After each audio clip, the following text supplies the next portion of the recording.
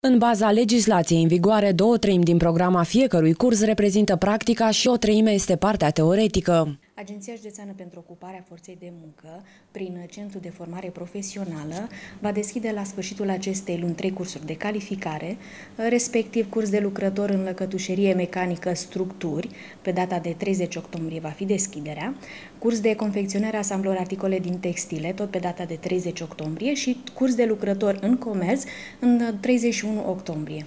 Aceste cursuri de calificare profesională se realizează în funcție de solicitările de pe piața muncii. În cazul în care cursantul are abilități pentru meseria în care dorește să se califice, este posibil ca angajatorul la care șomerul face practică să-i ofere imediat un loc de muncă.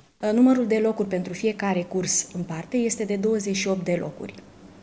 Durata cursurilor va fi de 10 săptămâni, iar condiția minimă de înscriere este ca persoana respectivă să aibă minim 8 clase. Cursurile sunt gratuite pentru persoanele care sunt înregistrate în baza Agenției Naționale pentru Ocuparea Forței de Muncă, fie ca șomeri indemnizați, fie neindemnizați.